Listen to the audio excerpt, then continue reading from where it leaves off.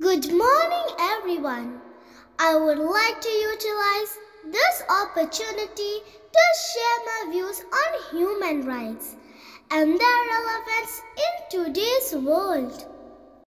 75 years ago, in 1948, the UN General Assembly declared December 10th as Human Rights Day. This day is celebrated as token to all those who stood up for someone's rights. Ladies and gentlemen, human rights. Do you know what are human rights?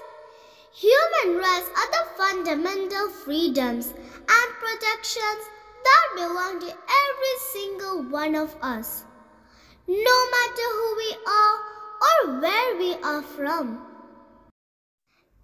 Everyone can make choices about their own lives.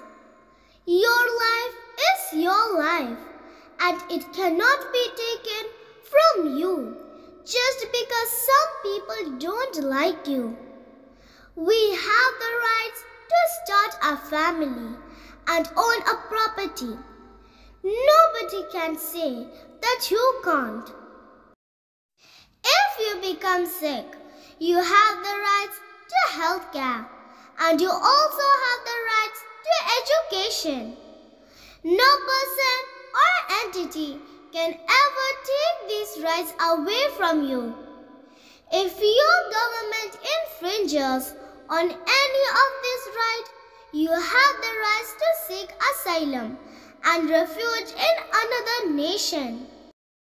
At work, we have the rights to fair working conditions, fair and equal pay, and right to join and form trade unions to protect your interests.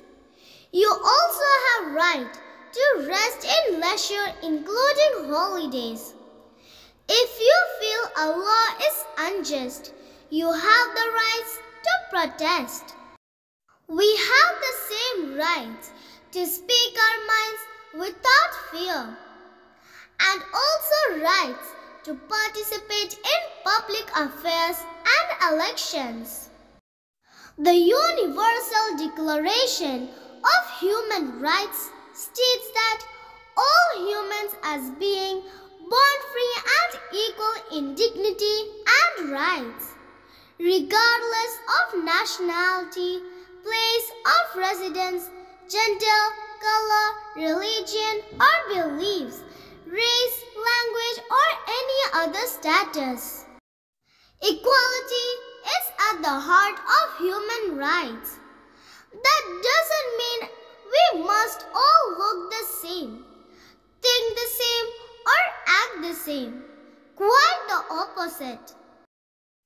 It means that all should be treated without any kind of discrimination. That no matter who we are, who we love, or where we live, we have equal opportunities to live in dignity and to pursue our dreams. That from the moment we are born, anywhere on this planet. My dear friends, just much fortunate we are. We have a roof over our heads, food, and are able to come school safely. But in so many places around the world, people are robbed of their right to shelter, food, and even education. The most concerning being the safety of girls. So, we can stand up for our rights and those of others. Remember, you are important and your rights matter.